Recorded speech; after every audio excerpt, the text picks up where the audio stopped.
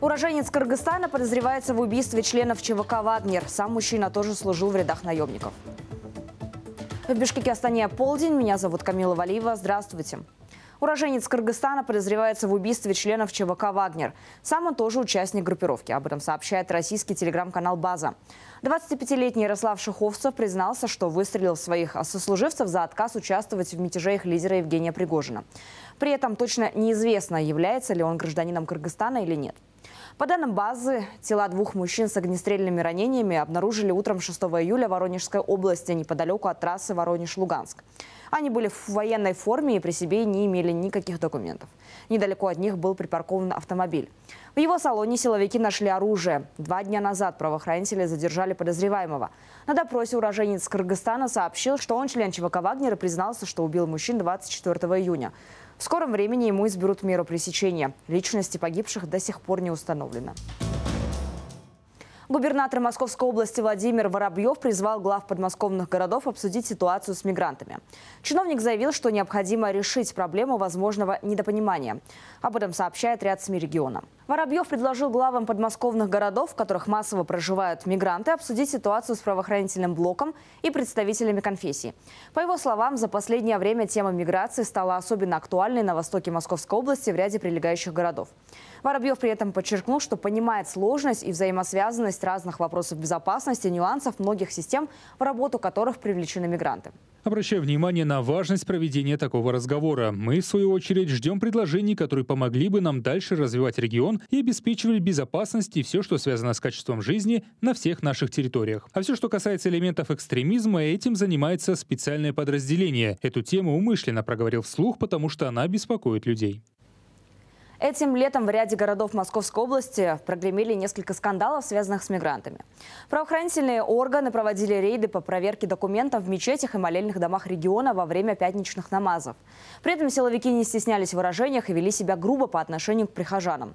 Мусульмане Московской области даже обратились к Владимиру Путину с просьбой защитить их от полицейского произвола.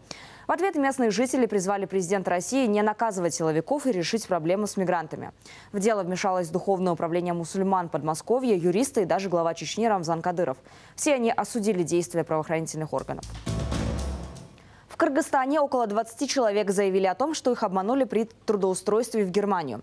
Потерпевшие рассказывают, что им обещали сделать визы и отправить работать. Люди заплатили подозреваемо от 300 до 900 долларов, но обещанные услуги так и не получили. Теперь, по их словам, они остались и без денег, и без работы. Милиция задержала подозреваемого и ведет расследование. Материал проекта «Мигрант Медиа» рассказывает Александр Крупнов. Примерно с 50 человек, которые записались на языковые курсы, она собрала от 30 до 80 тысяч сомов. Она обманула нас, обещала отправить в Германию и не отправила. Мы и ни курсов не закончили, ни на работу не устроились. Мы требуем, чтобы подозреваемую привлекли к уголовной ответственности и чтобы она вернула нам наши деньги. Тахмина собиралась ехать в Германию, чтобы работать на шоколадной фабрике. Ее знакомой удалось трудоустроиться там, но сама Тахмина осталась в Кыргызстане. Среди обманутых кыргызстанцев оказалась и Гульмира. Она заплатила за трудоустройство около 900 долларов. Когда я спросила у нее, есть ли подтверждающие документы, она ответила, что есть и документы, и лицензия. Сама она тогда якобы только приехала с работы в Италии. Мы с родственницей быстро собрали необходимую сумму и заплатили. В образовательном центре, при котором проходили занятия по обучению немецкому языку, говорят, что ничего не знали о мошеннической схеме. Директор учреждения Абдуалым Уланбекулу утверждает, что 19-летняя девушка, которая записала своих клиентов на курсы, смогла убедить подать документы на визу и его самого. А лично, как директор. Я и сам подал заявку. У меня два младших брата тоже подали, и их знакомые тоже. В целом 6-7 человек. Вместе мы отдали 120-130 тысяч сомов. Мы тоже поверили, что сможем трудоустроиться. Сотрудники ГУВД города Ош задержали подозреваемую в мошенничестве. Нанесенный ущерб милиции оценили почти 8 тысяч долларов. К нам поступило 16 заявлений о мошенничестве. Все они написаны на жительнице Карасуйского района 2004 года рождения. Мы задержали подозреваемую, и она созналась в содеянном. Подтвердила, что обещал сделать визы людям.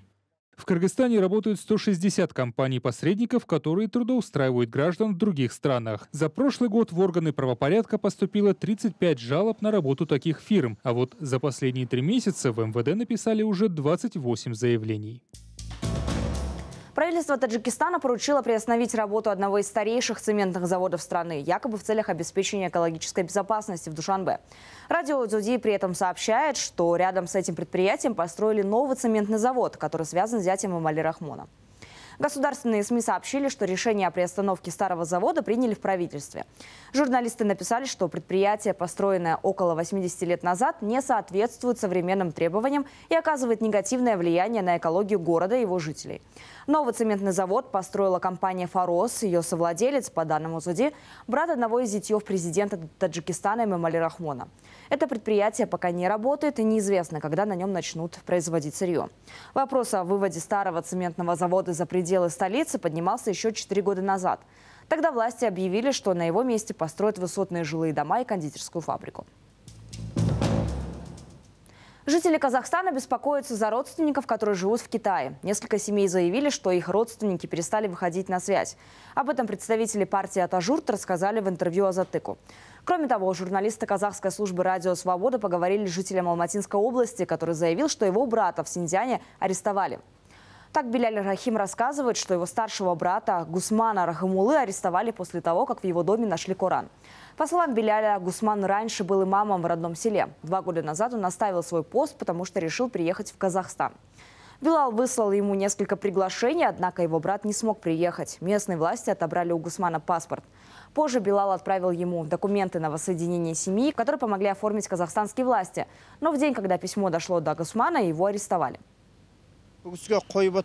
Ему вменили преступление нарушения общественного порядка. Нарушение не заключается в насилии или грабеже. У него дома нашли Коран. Говорят, нашли книги о шариате. Вообще-то он был назначен мулой в этой местности. У него в семье были священники. Этому способствовало государство. Теперь Белял Райхым просит у властей Казахстана помочь ему в освобождении своего брата. Между тем, в незарегистрированной партии «Атажур» называют имена еще нескольких задержанных в Синьцзяне.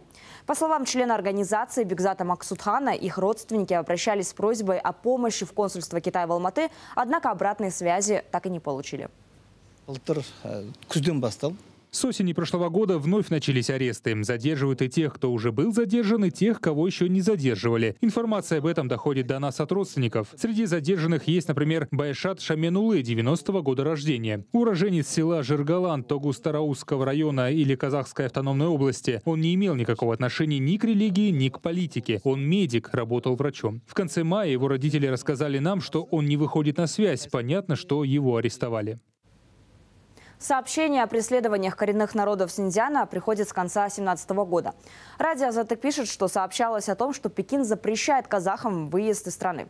Тех, кто уже уехал в Казахстан, власти КНР попросили вернуться. По возвращению их отправили в так называемые лагеря перевоспитания, пишут журналисты. По данным международных организаций, в лагерях могли находиться до миллиона казахов, уйгуров и кыргызов. Китайские власти сначала отрицали наличие обширной сети подобных учреждений, а затем назвали это способом борьбы с радикализацией. Это были главные новости к этому часу. Больше новостей из Центральной Азии в вечерней программе с Джибек Бегалиевой. Смотрите наши выпуски в социальных сетях, делитесь с друзьями, ставьте лайки и комментируйте, так как смогут увидеть гораздо больше людей. Всего доброго, до свидания.